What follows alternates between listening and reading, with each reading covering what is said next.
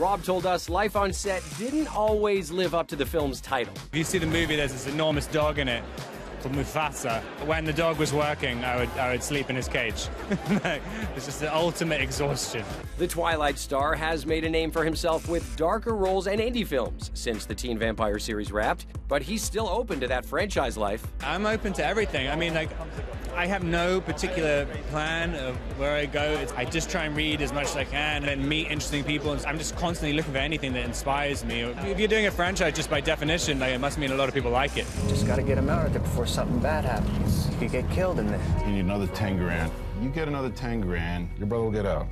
Good Times sees Rob as a petty criminal, raising money to help get his brother out of prison. And he was excited to hold the North American premiere in Montreal. I just kind of feel like a Canadian audience is much more accepting sometimes of slightly stranger fare. Something slightly less fun? Bleaching his hair blonde for the part. It was fun for a second, and then all my hair fell out. It fell out in clumps, and so